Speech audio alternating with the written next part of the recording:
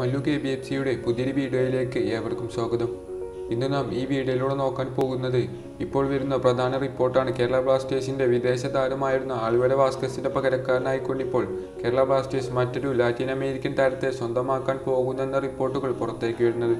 മറ്റാരുമല്ല Latin American താരമായ Nelson Baleno എന്ന വിദേശ താരത്തെയാണ് കേരള ബ്ലാസ്റ്റേഴ്സ് സ്വന്തമാക്കാൻ പോകുന്നതെന്ന റിപ്പോർട്ടുകളാണ് പുറത്തേക്ക് വരുന്നത്.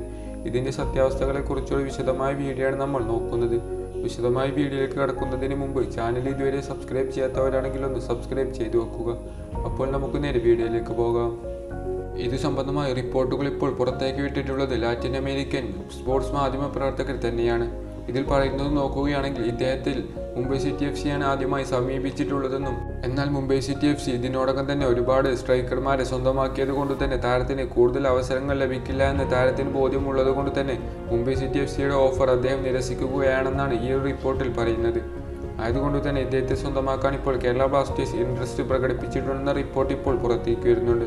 ഇതും ലാറ്റിൻ അമേരിക്കൻ മാധ്യമങ്ങൾ തന്നെയാണ് റിപ്പോർട്ട് ചെയ്തിട്ടുള്ളത്. നമുക്കറിയാം ഇദ്ദേഹം ആൽവര വാസ്കസിന് പകരക്കാരനായി എത്തുകയാണെങ്കിൽ ലാറ്റിൻ അമേരിക്കൻ താരങ്ങളായ അഡ്രിയൻ ലൂണ അതോടൊപ്പം തന്നെ അർജന്റീനിയൻ താരമായ ജോർജോ പെരഡിയാസ് ഏതാണ്ട് കേരള ബ്ലാസ്റ്റേഴ്സിലേക്ക് തന്നെ തിരിച്ചു വരുമെന്ന് ഏറെക്കുറെ ഉറപ്പായ കാര്യമാണ്.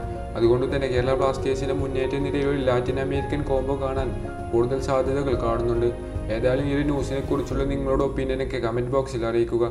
ഇതുപോലുള്ള ന്യൂസുകളും റിപ്പോർട്ടുകളുമെല്ലാം ഉടൻ തന്നെ അറിയുവാനായി ചാനലൊന്നും മറക്കാതെ സബ്സ്ക്രൈബ് ചെയ്തു വെക്കുക.